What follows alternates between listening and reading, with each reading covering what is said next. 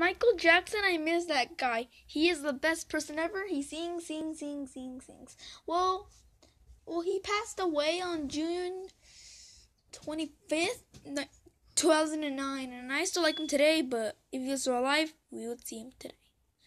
Yeah, I'm just sad about him. Sorry for this quick and short rant, but I still love this guy. Do you know who likes him? I do. He's the best person. You know who hates him? Caillou.